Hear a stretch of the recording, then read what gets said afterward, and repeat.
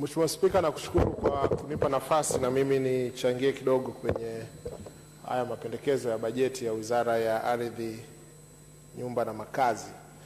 Mheshimiwa Spika, na mimi nimpongeze sana ndugu yangu kaka yangu Lukuvi kwa kazi nzuri aliyoifanya kwenye wizara hii. Ni ukweli usiofichika kwamba ametumia uzoefu wake kuituliza sekta ya ardhi katika nchi yetu, na kazi nzuri amefanya yeye pamoja na dadangu Mama Mabula, wamefanya kazi nzuri sana kwa kweli sana.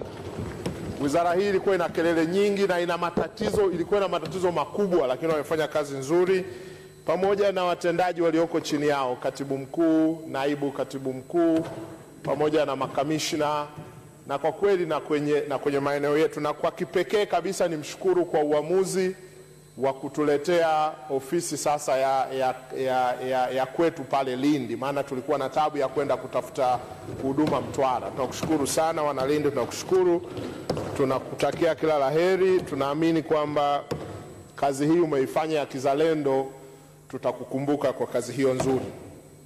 Mheshimiwa Spika, nilikuwa na mambo machache sana kwenye taarifa ya kamati, na mimi ni mjumbe wa, taarifa, wa, wa, wa kamati hii ya kudumu ya Bunge. Kuna mambo mengi sana yamezungumzwa. Sasa nataka nizungumze machache ambayo pengine hatukuyaweka mle ndani. La kwanza ni swala la shirika la nyumba la taifa.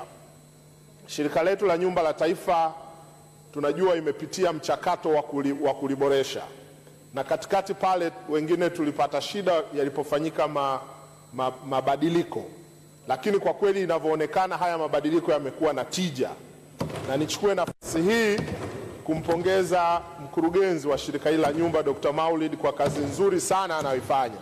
Tumesikia hapa kwamba shirika hili sasa linaaminiwa na kupewa kazi.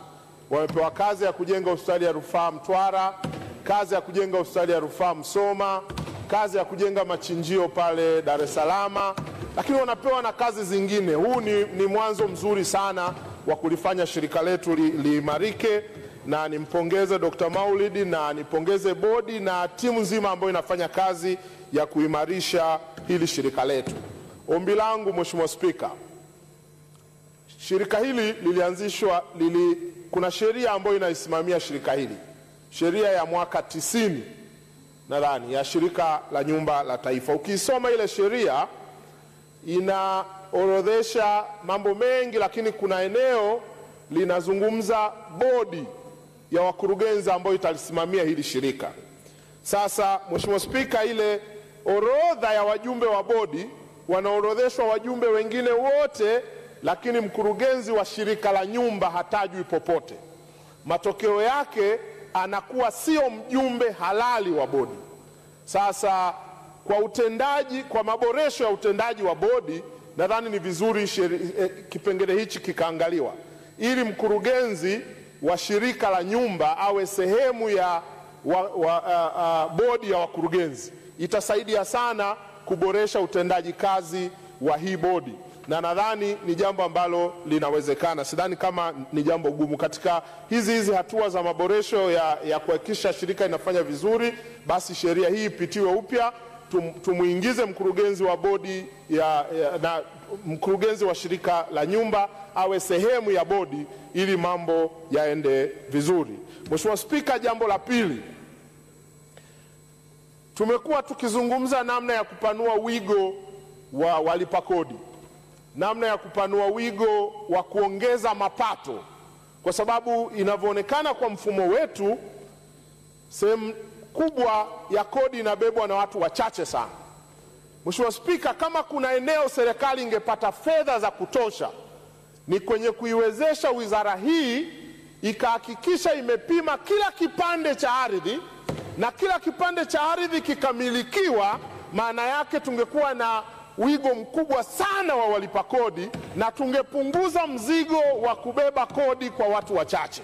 Sasa wito wangu, hili jambo limekuwa linazungumzwa mara kwa mara na wenzetu hawa akina Lukuvi wamekuwa wapati fedha za kutosha. Matokeo yake upimaji umekuwa unakwenda kidogo kidogo.